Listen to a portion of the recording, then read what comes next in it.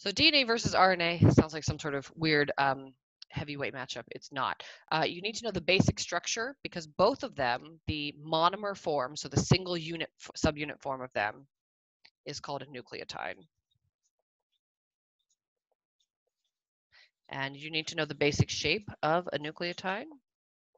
All right, and for both of them, it's the same. So you have, there are three parts to it.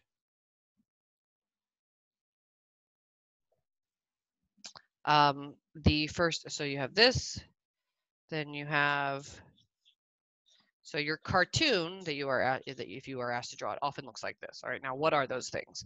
So you have a sugar, a phosphate group. Uh, oh, sorry, this is, so this is, find some different colors. All right, so this is the sugar. All right, this is the phosphate group. And this is the nitrogenous base. So when we talk about why do plants need nitrates or why do we humans need nitrates or why do we um, nitrogen, this is it. This is one of the big reasons is that if you want to make more DNA, you need to have nitrogen so that you can make more of these bases. Now, there are four different possibilities for the bases, okay? Uh, and then the sugar, we'll talk about in a second. So the phosphate is connected to the sugar, and that's that's it. That's all you need to know. Sugar, phosphate, nitrogenous base. All right, but the sugar in DNA, so if you know what DNA stands for, it stands for deoxyribonucleic acid. And so in DNA, the sugar is a deoxyribose, which means it's missing deoxy, one less oxygen, right? And in RNA, RNA just stands for ribonucleic acid. So the sugar in in RNA is called a ribose sugar. They're both five uh, member rings, all right? And the only difference is the RNA has an oxygen that the DNA doesn't. It's actually down here, it's a little OH, but I don't think you need to know that detail. Nitrogenous bases, in DNA you have four. You have adenine, thymine, cytosine, oops, and guanine. Okay, and I've put them in their pairs. Adenine always goes with thymine, cytosine always goes with guanine. In RNA, as you may remember, there's one of them missing, right? It doesn't have no, it doesn't have a thymine. Instead, it has a uracil. All right, so there's no thymine.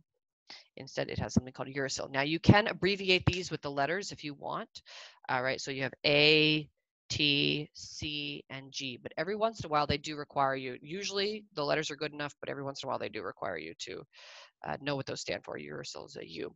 Right, so that's one difference, uh, or two differences. Sorry, is they have different sugars, and then they also have uh, there's one nitrogenous base that's found in RNA that's not found in DNA.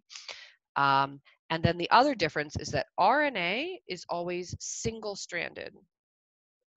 So the mRNA that's created uh, and the tRNA as well that comes in and carries the amino acid if you watched my, my other video on uh, translation.